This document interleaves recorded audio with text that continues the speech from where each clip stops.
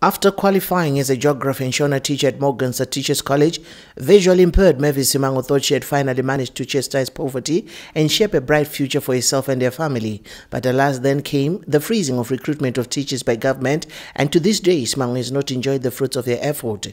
Dashed by life's cruel realities, the 36-year-old visually impaired teacher has now turned to farming while her husband, who is also blind, is begging in the rough streets of Johannesburg just so they make ends meet. Chishuwo changu kana basa raiwanikwavo handaenza kufara kuitira kuti wo imbayo ipere.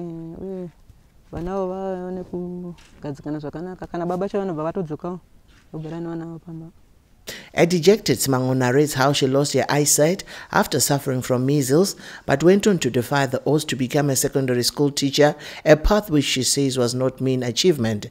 A flicker of smile lights up on Simango's face as she retraces her life story, where after her ordinary level she married her sweetheart, and how they tried their luck in South Africa, leading to them being able to build their six-roomed house, which is almost complete in Mataga. 2013 ndapandakatanga kutoita um, kunyora english nemedicine ndandanyora english yangu nemedsi 2013 june ndandapasa 2015 2014 ndandaenda kotsvaga nzvimbo kumutare church college ndandaiwana 2015 na2016 ndandapedzangu Now into full-time farming, Simango uses a sense of touch and smell to weed her garden, something she does with ease.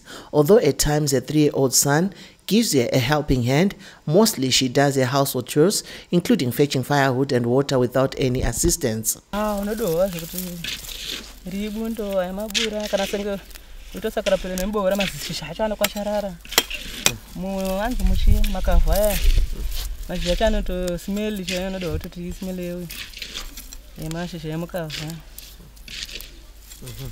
ndo nyaya yamasiyaniso andozviita On inquiry whether a case cannot be treated separately, Midlands Provincial Education Director, Mrs. Agnes Gudo said, currently recruitment is only biased towards science teachers for physics, maths and biology, where there is a huge gap, but noted once the green light comes through, people like Simang will definitely be considered for available posts. Jackie Kwemende, ZBC News, Mataga, Mberengwa.